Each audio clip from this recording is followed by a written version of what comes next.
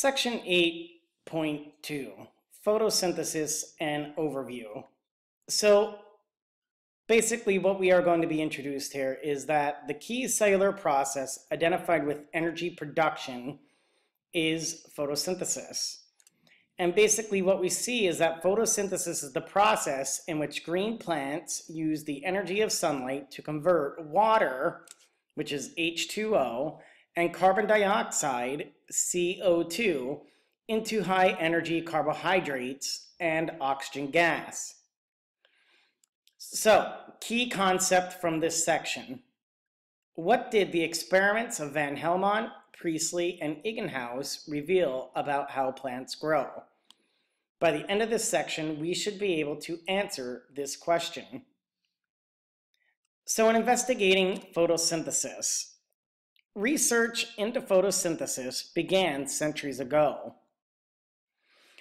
In the 1600s, Jan van Helmont wanted to find out if plants grew by taking material out of the soil. What he did is he determined the mass of a pot of dry soil and a small seedling. He planted the seedling in the pot and watered it regular, regularly. After about five years, the seedling was a small tree and had gained 75 kilograms of mass.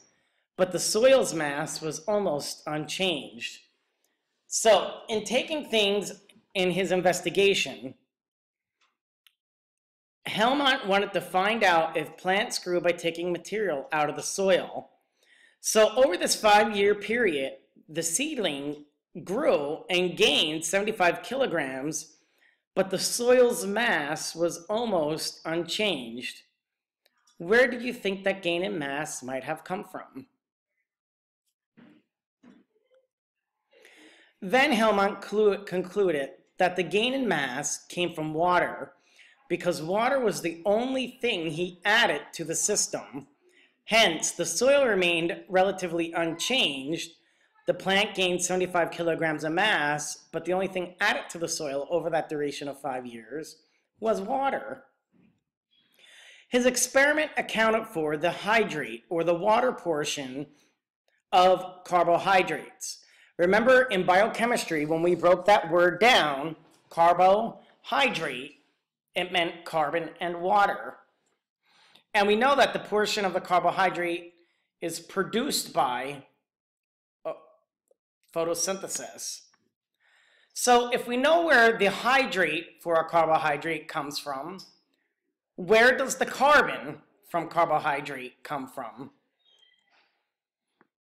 Although Van Helmont did not realize it, Carbon dioxide in the air is a major contributor to the mass of his tree. In photosynthesis, the carbon in each carbon dioxide is used to make sugars and other carbohydrates. So if you could picture this now, thinking about it, since we studied sugars, if carbon dioxide is CO2, one carbon per carbon dioxide molecule, how many carbon dioxide molecules would be needed to produce a sugar like glucose? Think of the molecular formula for glucose, that carbohydrate. How many CO2 molecules are needed? Van Helmont had only part of the story, but he had a major contribution to science. More than 100 years after Van Helmont's experiment, a guy by the name of Joe Priestley provided another insight into the process of photosynthesis. This is what we refer to as Priestley's experiment. Priestley took a candle, placed a jar over it, and watched the flame gradually die out. We have probably all done that in our chemistry kits uh, when we were kids, if you had a chemistry kit, or you may have seen this done before you take a, a, uh, a jar with a candle, put, put the jar over it, the candle goes out. Well, why did the candle go out? Um, another an example is if you have a plate, put the uh, adhere the, the candle to the plate, put a little water around the candle. If you put the jar over the candle, the candle goes out. the jar will fill up with the water. So why did that candle go out? He reasoned that the flame needed some, something in the air to keep burning. When it was used up, the flame went out. Of course, we know today that that substance was oxygen, because we know in order to have fire, we must have oxygen gas. Priestley then placed a live sprig of mint, and basically that just means a piece of mint, under the jar and allowed it there to stay there for a few days. He found that the candle could be relighted and would remain lighted for a while. It definitely stayed, stayed lit longer than it had without the piece of mint. What happened? What we see is that the mint plant had produced the substance required for burning. In other words, it had released oxygen gas. To further Priestley's experiment, Jan Ingenhousz showed that the effect observed by Priestley occurred only when the plant was exposed to light. The results of both Priestley and Ingenhousz's experiment showed that light is necessary for plants to produce oxygen.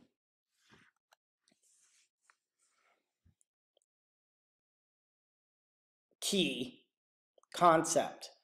The experiments performed by Van Helmont, Priestley, Ingenhousz led to work by other scientists who finally discovered that in the presence of light, plants transform carbon dioxide, CO2, and water, H2O, into carbohydrates. And they also release oxygen gas, O2. For our purpose, carbohydrate will represent glucose molecular formula C6H12O6. So we see this in the overall equation for photosynthesis. So this is the key concept as well. The photosynthesis equation is 6CO2. So remember, previously in this lecture I asked you how many carbon dioxide molecules are needed. You need six CO2 molecules to produce the six carbons found in the carbohydrate. In this case, the carbohydrate would be right here. That's glucose with its molecular formula C6H12O6. So you need six CO2 molecules plus six H2O molecules to produce C6H12O6, a sugar and a byproduct of oxygen gas. And we have six molecules of oxygen gas. So carbon dioxide plus water plus light yields sugar and oxygen. So as we come to the end, photosynthesis uses the energy of sunlight to convert water and carbon dioxide into high energy sugars and oxygen gas. So light energy is coming in, water is coming in. Now we have a reaction. This reaction is the light dependent reaction. The light-dependent reaction essentially means that light is required in order for this reaction to take place. The reaction itself occurs in the chloroplast in little compartments that are called thylakoids. Out of this process, we generate oxygen gas. Also out of the light-dependent reaction, we get two molecules. One of them is called ATP. You know what ATP is already. It stands for adenosine triphosphate. It's the energy molecule of our cells. The other molecule is called NADPH. NADPH is an electron carrier molecule. I'll explain this a little bit more in class. ATP and NADPH are going to be used in the second reaction of photosynthesis. Take note that oxygen gas is not used. It is a byproduct from, from photosynthesis and it is released back into the atmosphere. And when the oxygen gas is being released, the plant is also taking in carbon dioxide gas. Carbon dioxide is a requirement for making the sugar. So in the second reaction, we have CO2 coming in. In the first reaction, we have the water coming in. Together, these will make our carbohydrate. We also have water coming in here as well for the second part of the reaction. The second reaction, known as the Calvin cycle, occurs in an area of the chloroplast called the stroma. The stroma's reaction, or the Calvin cycle, is going to produce our sugar. And from that, we are going to regenerate ADP and NADP+. You know already that ADP is the alternate form of ATP. ATP is energy rich, ADP is energy poor. NADPH is electron rich, NADP plus is electron poor. They are going to feed back into this reaction. So, what is the role of light and a pigment called chlorophyll in photosynthesis? Light and pigments. How do plants capture the energy of the sun? In addition to water and carbon dioxide, photosynthesis does require that light. And light energy is captured via pigments. A pigment itself is a light absorbing molecule. Now, the main pigment in plants is a molecule called chlorophyll. Chlorophyll is green, hence its name, chloro meaning green. There are two main types of chlorophyll for our sake, we are just going to learn two. There are actually four types of chlorophyll, but the two main types that you need to be aware of are chlorophyll A and chlorophyll B.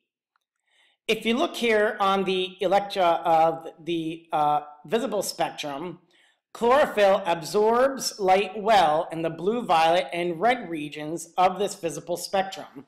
So we know light energy has the colors Roy G. Biv red, orange, yellow, green, blue, indigo, and violet. So remember those as Roy G. Biv.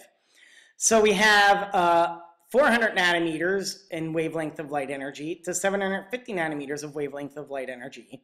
We could see that the estimated absorption is the percentage on the side, right here on the y-axis. So we see chlorophyll A absorbs a lot in the blue-violet and the red-orange very little in the, the, the spectrum where green light is. Chlorophyll B, very good at absorbing red, blue light and violet light, absorbs a little bit of orangish, reddish colors, very poor at absorbing green light. What does this mean for photosynthesis? Chlorophyll that does not absorb light will, chlorophyll does not absorb light will in the green region of the spectrum so it doesn't absorb light well in the green region of the spectrum. Green light is considered to be reflected by leaves. So we say green light is reflected or transmitted through the plant, which is why plants look green. Light is a form of energy. So any compound that absorbs light also absorbs energy from that light. When chlorophyll absorbs light, much of the energy is transferred directly to electrons in the chlorophyll molecule, and it's going to excite those electrons, essentially raising the energy level of those electrons. The high energy electrons are what make photosynthesis work. So that is going to drive this reaction, especially the light dependent reaction. That will be our whole focus as we continue forward. So we will break down some of these concepts in this lecture in class, discuss them, give you a practice on this, uh, these concepts, and we'll continue on with the chapter. So we'll also see this a little bit with the lab activity that I have scheduled for us as well. All right, biology students, that's it for today. I hope you uh, learned from this lecture.